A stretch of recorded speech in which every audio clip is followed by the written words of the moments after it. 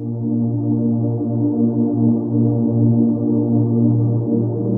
الله الرحمن الرحيم شهر رمضان. شهر رمضان الذي أنزل فيه القرآن. هدى للناس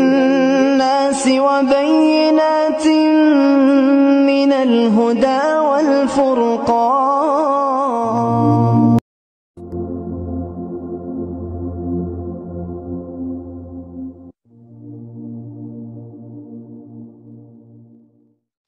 আসসালামু আলাইকুম রহমতুল্লাহ বারকাত এক ভাই আহ, জানতে চেয়েছেন যে আপনি যে বান্দার হক নষ্ট করলে তার কি পরিমাণ শাস্তি হবে এবং কোনো অমুসলিমও যদি বান্দার হক নষ্ট করে যেমন কাউকে গালি দেয় বা কারোর উপর কোনো জুলুম করে সেক্ষেত্রে তার শাস্তি কি হবে এদিকে আল্লাহ রাবুল আলমিন ইনসাফ প্রতিষ্ঠিত করবেন এ মর্মে মুসলিম এবং মেশকাতের পাঁচ হাজার একশো আঠাশ নম্বর হাদিস নবী করিম সাল্লাহ সাল্লাম বান্দার হক সম্পর্কে জানিয়েছেন عن أبي هريرة أن رسول الله صلى الله عليه وسلم قال تؤدن الحقوق إلى أهلها يوم القيامة حتى يقاد لشاة لشاة الجلحاء من الشاة القرناء আবি হুরাইরা বলেছেন রাসূল সাল্লাল্লাহু আলাইহি সাল্লাম বলেছেন কিয়ামতের দিন সবার হক আদায় করা হবে এমনকি শিং ছাড়া একটি ছাগলকে শিং প্রদান করে যেই ছাগলের শিং দুনিয়াতে ছিল না দুর্বল ছিল তাকে তার প্রতিশোধ নেওয়ার সুযোগ দেওয়া হবে সুবহান আল্লাহ কত মারাত্মক কথা, যেখানে কোনো কাউকে আল্লাহ রাবুল আলমিন সার দেবেন না। স্পষ্ট কথা হলো ফামাইয়া আমাল মিথকালা দাররাতিন খৈরা ইয়ারা মাইয়া আমাল মিথকালা দাররাতিন শাররা ইয়ারা।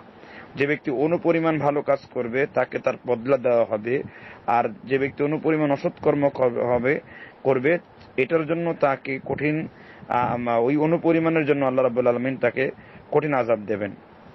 তেমনিভাবে নবী করিম সাল্লা আসলামের আরও স্পষ্ট হাদিস উল্লেখ রয়েছে। যে কেউ যদি ধরেন, কারও জমিন আত্মসাত করলে হক নষ্ট করল। মান আখদা শিবরান মিনাল আরদি যুলমান ফাইন্নাহু ইউতাওয়াক্কাহু ইয়াউমাল কিয়ামাতি মিন সাবঈ আরদিন। যে ব্যক্তি অর্ধহাত জমি দখল করে নেবে, কিয়ামতের দিন সাতটি জমিন তার গাদের মধ্যে আল্লাহ ঝুলিয়ে দেবেন। সুতরাং অমুসলিম হলে সে তো জাহান নামে যাবে। এখন মুসলিম যদি বান্দার হক নষ্ট করে, হক দুই রকমের রয়েছে। একটা আল্লাহর হক এটা বান্দার হক। আল্লাহ তার নিজের সাথে হক, এটা আল্লাহ মাফ করবেন, তার কাছে তওবা চাইলে। কিন্তু বান্দার হক আগে বান্দার কাছে মাফ চেয়ে নিতে হবে। যদি সে ইমান থাকে, যদি তার মধ্যে ইমান নিহিত থাকে, সেক্ষেত্রে সে আজাব বুক করে একটা সময় সে জান্নাতে লাভ করতে পারবে। কিন্তু যদি তার মধ্যে ইমান না থাকে বেইমান থাকে, অমুসলিম থাকে, তাহলে সে আজাবও বুক করল আর জাহান্নাম তো তার ঠিকানা হয়েই আছে। সুতরাং সুতরাং এজন্য জন্য কারণ ইন্না জাহান্নামা কানাত মির সদা কারণ জাহান্নাম তাদের জন্য একটা আসলেও গোপন ফাঁদ।